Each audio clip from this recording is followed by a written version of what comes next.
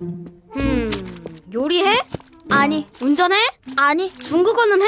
我不会说中文，因为说中文是真的很难，所以我只会说一点中文，我不会说中文。 그럼 국내와 해외를 총망라하는 30명 규모의 마케팅 업체의 사장은 하겠냐? 음, 아니,